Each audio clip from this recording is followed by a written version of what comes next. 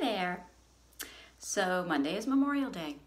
And so I decided that I would do a couple of poems. And um, Sarah has illustrated for me. So here we go. Flags are flying, flags are flying, oh so high, flying for our country, red and white and blue, flying high in the sky. Red, white, and blue, red, white, and blue, stars and stripes too, stars and stripes too. We celebrate Memorial Day. We celebrate our veterans today with red and white and blue.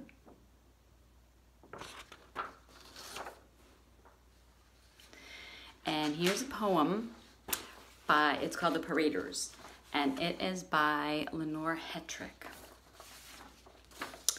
We love our flag and we love our land. We love to hear America played by the band.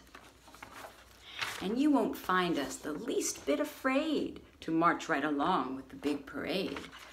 We'll be up in front for all to see, and our marching will be just what it would be. We'll do our best in our own small way to honor our country's flag today. So right foot, left foot, off we go. We hope that we make a very good show. I hope everybody has a great Memorial Day and you can barbecue.